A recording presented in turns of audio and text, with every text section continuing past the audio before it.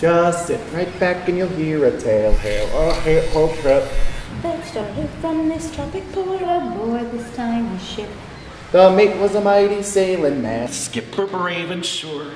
Five passengers that sailed out here. Three hour tour. The ship's aground on shore of this uncharted desert isle. With Gilligan, the skipper too.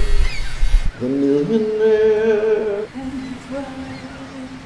The movie the professor, and Mary Ann.